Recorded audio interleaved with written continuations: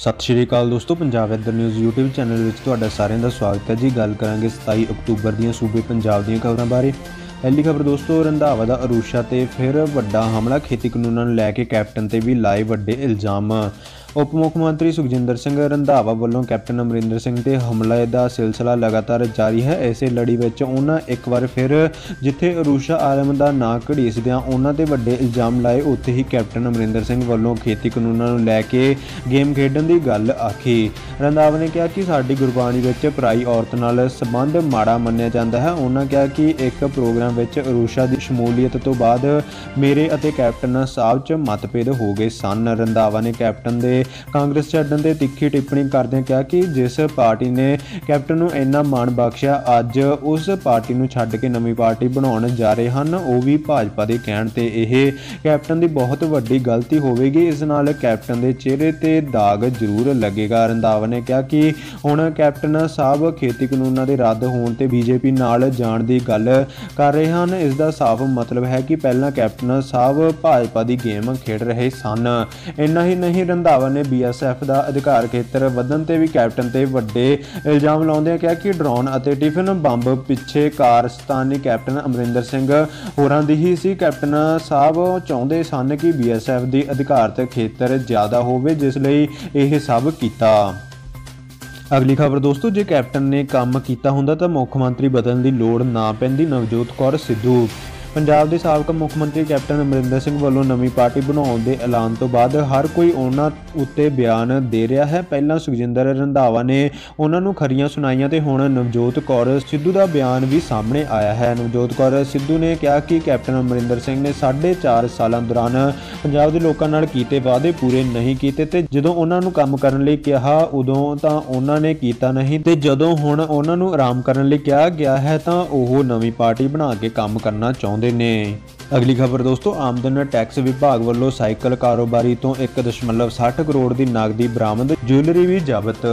ਆਮਦਨ ਟੈਕਸ ਵਿਭਾਗ ਦੇ ਜਾਂਚ ਵਿੰਗ ਵੱਲੋਂ ਬੀਤੇ ਦਿਨ ਮਹਾਨਗਰ ਦੇ ਸਾਈਕਲ ਕਾਰੋਬਾਰੀ ਤੇ ਕੀਤੀ ਗਈ ਛਾਪੇਮਾਰੀ 'ਚ ਇੱਕ ਕਾਰੋਬਾਰੀ ਤੋਂ 1.60 ਕਰੋੜ ਦੇ ਲਗਭਗ ਕੈਸ਼ ਅਤੇ ਕੁਝ ਜੁਐਲਰੀ ਬਰਾਮਦ ਕੀਤੀ ਗਈ, ਜਿਸ ਦਾ ਬਿਊਰਾ ਜਲਦ ਉਕਤ ਕਾਰੋਬਾਰੀ ਤੋਂ ਵਿਭਾਗ ਮੰਗੇਗਾ। ਵਿਭਾਗੀ ਸੂਤਰਾਂ ਤੋਂ ਮਿਲੀ ਜਾਣਕਾਰੀ ਮੁਤਾਬਕ ਵਿਭਾਗ ਉਕਤ ਕਾਰੋਬਾਰੀਆਂ ਨੂੰ ਸਮਨ ਭੇਜ ਕੇ ਬੁਲਾਏਗਾ ਅਤੇ ਸਟੇਟਮੈਂਟ ਰਿਕਾਰਡ ਕੀਤੀ ਜਾਵੇਗੀ।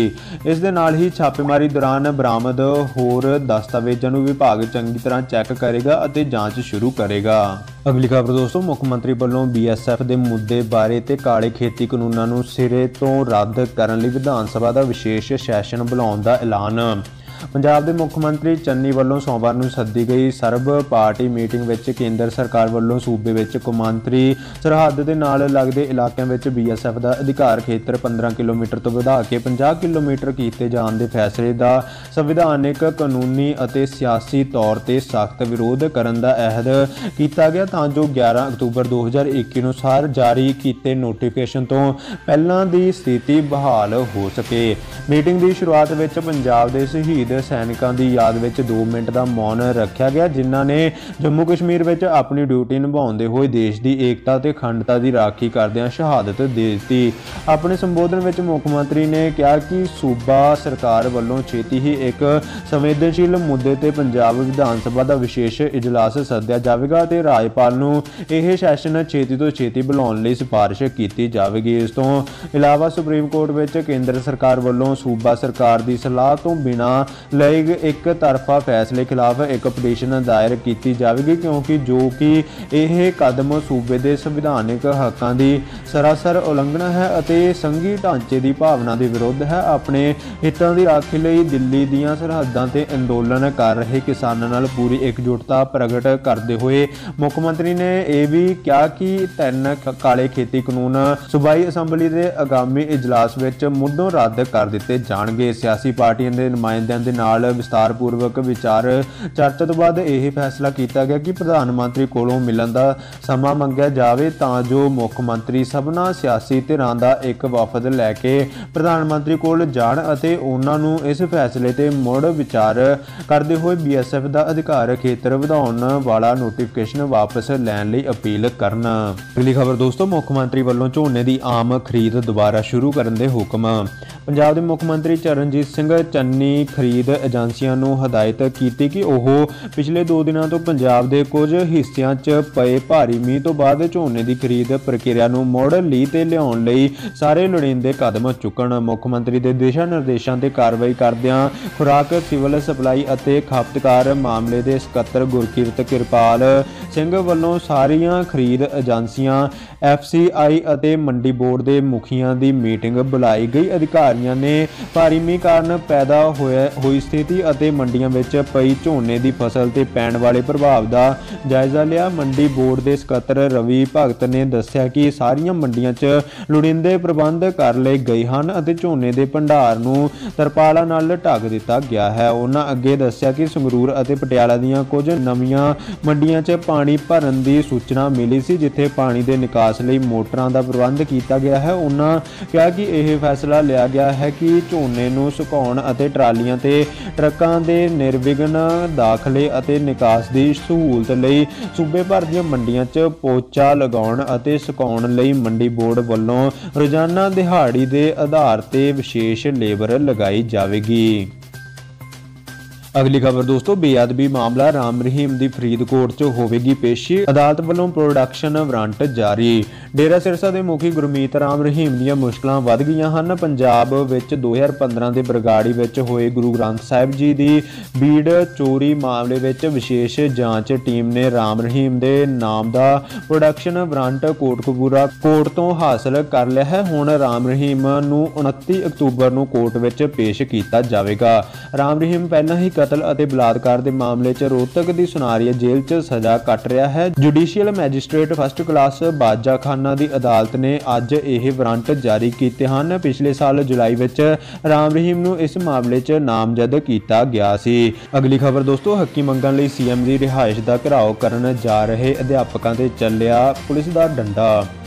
ਚੰਡੀਗੜ੍ਹ ਦਾਖਲ ਹੋ ਰਹੇ ਵੋਕੇਸ਼ਨਲ ਅਧਿਆਪਕਾਂ ਤੇ ਚੰਡੀਗੜ੍ਹ ਅਤੇ ਹਰਿਆਣਾ ਪੁਲਿਸ ਵੱਲੋਂ ਡਾਂਗਾ ਵਧਾਈਆਂ ਗਈਆਂ। ਦੱਸ ਦਈਏ ਕਿ ਇੱਥੇ ਵੋਕੇਸ਼ਨਲ ਅਧਿਆਪਕ ਮੁੱਖ ਮੰਤਰੀ ਦੀ ਰਿਹਾਇਸ਼ ਦਾ ਘਿਰਾਓ ਕਰਨ ਆ ਰਹੇ ਸਨ, ਪਰ ਉੱਥੇ ਪਹੁੰਚਣ ਤੋਂ ਪਹਿਲਾਂ ਹੀ ਅਧਿਆਪਕਾਂ ਤੇ ਪੁਲਿਸ ਵੱਲੋਂ ਲਾਠੀਚਾਰਜ ਕੀਤਾ ਗਿਆ, ਜਿਸ ਵਿੱਚ ਪੰਜ ਅਧਿਆਪਕ ਗੰਭੀਰ ਰੂਪ 'ਚ ਜ਼ਖਮੀ ਹੋ ਗਏ। ਇੰਨਾ ਹੀ ਨਹੀਂ, ਹੱਕੀ ਮੰਗਣ ਲਈ ਮੁੱਖ ਮੰਤਰੀ ਦੀ ਰਿਹਾਇਸ਼ ਵੱਲ ਵੱਧ ਰਹੇ ਅਧਿਆਪਕਾਂ ਤੇ ਪਾਣੀ ਦੀਆਂ ਵਿਚਾਰਾਂ ਵੀ ਕੀਤੀਆਂ ਗਈਆਂ। ਦੱਸਣਯੋਗ ਹੈ ਕਿ ਇਹਨਾਂ ਅਧਿਆਪਕਾਂ ਵੱਲੋਂ 3 ਦਿਨ ਦੇ ਅੰਦੋਲਨ ਦਾ ਐਲਾਨ ਕੀਤਾ ਗਿਆ ਸੀ, ਪਰ ਪਹਿਲੇ ਦਿਨ ਹੀ ਪੁਲਿਸ ਵੱਲੋਂ ਇਹਨਾਂ ਨੂੰ ਰੋਕ ਦਿੱਤਾ ਗਿਆ ਅਤੇ ਮੁੱਖ ਮੰਤਰੀ ਦੀ ਰਿਹਾਇਸ਼ ਤੱਕ ਪਹੁੰਚਣ ਹੀ ਨਹੀਂ ਦਿੱਤਾ ਗਿਆ। ਅਗਲੀ ਖਬਰ ਦੋਸਤੋ, ਪੰਜਾਬ 'ਚ 22 ਨਵੰਬਰ ਨੂੰ ਬੰਦ ਰਹਿਣਗੇ ਪੈਟਰੋਲ ਪੰਪ 7 ਤੋਂ 21 ਨਵੰਬਰ ਸਿਰਫ ਇੰਨੇ ਘੰਟੇ ਹੀ ਖੁੱਲਣਗੇ।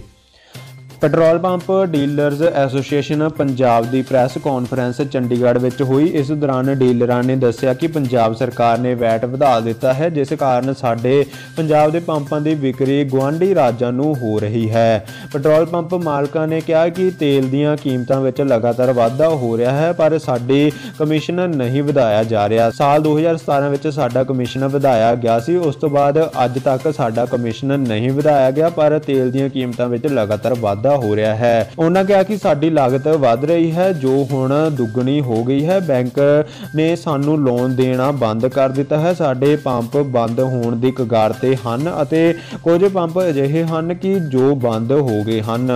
ਡੀਲਰਾਂ ਨੇ ਕਿਹਾ, ਅਸੀਂ ਫੈਸਲਾ ਕੀਤਾ ਹੈ ਕਿ ਅਸੀਂ ਪੰਪ ਨੂੰ 7 ਨਵੰਬਰ ਤੋਂ 21 ਨਵੰਬਰ ਤੱਕ ਸੀਮਤ ਸਮੇਂ ਲਈ ਖੋਲਾਂਗੇ। ਪੈਟਰੋਲ ਪੰਪ ਸਵੇਰ 7 ਵਜੇ ਤੋਂ ਸ਼ਾਮ 5 ਵਜੇ ਤੱਕ ਹੀ ਖੁੱਲਣਗੇ। ਜੇਕਰ ਪੰਜਾਬ ਸਰਕਾਰ ਨੇ ਸਾਡੀਆਂ ਮੰਗਾਂ ਨਾ ਮੰਨੀਆਂ ਤਾਂ 22 ਨਵੰਬਰ ਨੂੰ ਪੈਟਰੋਲ ਪੰਪ ਇੱਕ ਦਿਨ ਲਈ ਬੰਦ ਰਹਿਣਗੇ।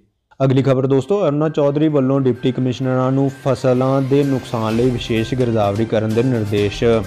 ਹਾਲ ਹੀ ਦੇ ਬੇਮੌਸਮੀ ਮੀਂਹ ਕਾਰਨ ਫਸਲਾਂ ਨੂੰ ਹੋਏ ਭਾਰੀ ਨੁਕਸਾਨ ਦਾ ਅਨੁਮਾਨ ਲਾਉਣ ਲਈ ਪੰਜਾਬ ਦੇ ਮਾਲ ਤੇ ਮੁੜ ਵਸੇਬਾ ਮੰਤਰੀ ਅਰੁਣਾ ਚੌਧਰੀ ਨੇ ਵਿਸ਼ੇਸ਼ ਗਿਰਦਾਵਰੀ ਦੇ ਹੁਕਮ ਜਾਰੀ ਕੀਤੇ ਹਨ ਅਤੇ ਇਹ ਗਿਰਦਾਵਰੀ ਕਰਕੇ ਇੱਕ ਹਫ਼ਤੇ ਵਿੱਚ ਰਿਪੋਰਟ ਪੇਸ਼ ਕਰਨ ਲਈ ਆਖਿਆ ਹੈ। ਜਾਰੀ ਨਿਰਦੇਸ਼ਾਂ ਵਿੱਚ ਅਰੁਣਾ ਚੌਧਰੀ ਨੇ ਖੜੀ ਫਸਲ ਨੂੰ ਹੋਏ ਨੁਕਸਾਨ ਦੀ ਨਿਰਧਾਰਤ ਸਮੇਂ ਵਿੱਚ ਗਿਰਦਾਵਰੀ ਕਰਨ ਦੇ ਡਿਪਟੀ ਕਮਿਸ਼ਨਰਾਂ ਨੂੰ ਹੁਕਮ ਦਿੱਤੇ ਹਨ ਤਾਂ ਜੋ ਕਿਸਾਨਾਂ ਨੂੰ ਫਸਲ ਦੇ ਨੁਕਸਾਨ ਲਈ ਜਲਦ ਤੋਂ ਜਲਦ ਮੁਆਵਜ਼ਾ ਦਿੱਤਾ ਜਾ ਸਕੇ। ਅਗਲੀ ਖਬਰ ਦੋਸਤੋ, ਕਿਸਾਨਾਂ ਨੂੰ ਦੀਵਾਲੀ ਮੌਕੇ ਮਿਲ ਸਕਦੀ ਹੈ ਵੱਡੀ ਖੁਸ਼ਖਬਰੀ। ਕੇਂਦਰ ਤਿਆਰ ਕਰ ਰਿਹਾ ਹੈ ਇਹ ਬਲੂਪ੍ਰਿੰਟ ਕੇਂਦਰ ਸਰਕਾਰ ਵੱਲੋਂ ਪਾਸ ਤਿੰਨ ਖੇਤੀ ਕਾਨੂੰਨਾਂ ਦਾ ਪਿਛਲੇ ਲਗਭਗ 1 ਸਾਲ ਤੋਂ ਕਿਸਾਨ ਵਿਰੋਧ ਕਰ ਰਹੇ ਹਨ। ਮਾਮਲੇ ਨੂੰ ਹੱਲ ਕਰਨ ਲਈ ਕਈ ਵਾਰ ਕਿਸਾਨ ਨੇਤਾਵਾਂ ਤੇ ਸਰਕਾਰ ਦਰਮਿਆਨ ਗੱਲਬਾਤ ਹੋ ਚੁੱਕੀ ਹੈ, ਪਰ ਇਸ ਦਾ ਕੋਈ ਹੱਲ ਨਹੀਂ ਨਿਕਲ ਸਕਿਆ। ਹੁਣ ਇਸ ਮਾਮਲੇ ਦਾ ਹੱਲ ਕੱਢੇ ਜਾਣ ਦੀ ਤਿਆਰੀ ਚੱਲ ਰਹੀ ਹੈ ਅਤੇ ਸੰਭਾਵਨਾ ਹੈ ਕਿ ਦੀਵਾਲੀ ਤੋਂ ਪਹਿਲਾਂ ਇਸ ਸੰਬੰਧੀ ਕੋਈ ਚੰਗੀ ਖਬਰ ਸਾਹਮਣੇ ਆ ਸਕਦੀ ਹੈ। ਜਾਣਕਾਰਾਂ ਦਾ ਕਹਿਣਾ ਹੈ ਕਿ ਪੰਜਾਬ, ਉੱਤਰ ਪ੍ਰਦੇਸ਼, ਗੋਆ, ਮਣੀਪੁਰ ਅਤੇ ਉੱਤਰਾਖੰਡ ਵਿੱਚ ਵਿਧਾਨ ਸਭਾ ਚੋਣਾਂ ਹੋਣੀਆਂ ਹਨ, ਜਿਸ ਨੂੰ ਲੈ ਕੇ ਸਾਰੀਆਂ ਸਿਆਸੀ ਪਾਰਟੀਆਂ ਜ਼ੋਰ ਅਜਮਾਇਸ਼ ਕਰ ਰਹੀਆਂ ਹਨ। ਇਸ ਦੌਰਾਨ ਇਸ ਦੌੜ ਵਿੱਚ ਭਾਜਪਾ ਸਭ ਤੋਂ ਪਿੱਛੇ ਚੱਲ ਰਹੀ ਹੈ, ਜਿਸ ਦਾ ਵੱਡਾ ਕਾਰਨ ਕਿਸਾਨ ਮੁੱਦਾ ਹੈ, ਪਰ ਹੁਣ ਪਾਰਟੀ ਇਸ ਮਾਮਲੇ ਦਾ ਹੱਲ ਕੱਢਣ ਦੀ ਕੋਸ਼ਿਸ਼ ਵਿੱਚ ਜੁਟ ਗਈ ਹੈ। ਪਾਰਟੀ ਪੰਜਾਬ ਤੇ ਉੱਤਰ ਪ੍ਰਦੇਸ਼ ਵਿੱਚ ਕਿਸਾਨੀ ਅੰਦੋਲਨ ਦੇ ਅਸਰ ਦੀ ਸੰਭਾਵਨਾ ਨੂੰ ਦੇਖਦੇ ਹੋਏ ਇਸ ਦਾ ਹੱਲ ਕੱਢਣ ਲਈ ਬਲੂਪ੍ਰਿੰਟ ਤਿਆਰ ਕਰਨ 'ਚ ਜੁਟ ਗਈ ਹੈ। ਹੁਣ ਤੱਕ ਦੀਆਂ ਤਾਜ਼ਾ ਤਰੀਨ ਤੇ ਮੁੱਖ ਖਬਰਾਂ, ਹੋਰ ਖਬਰਾਂ ਜਾਣਨ ਲਈ ਚੈਨਲ ਨੂੰ ਸਬਸਕ੍ਰਾਈਬ ਕਰੋ ਅਤੇ ਵੀਡੀਓ ਨੂੰ ਆਪਣੇ ਦੋਸਤਾਂ ਤੇ ਪਰਿਵਾਰ ਨਾਲ ਸ਼ੇਅਰ ਕਰਨਾ ਨਾ ਭੁੱਲਣਾ। ਧੰਨਵਾਦ ਦੋਸਤੋ।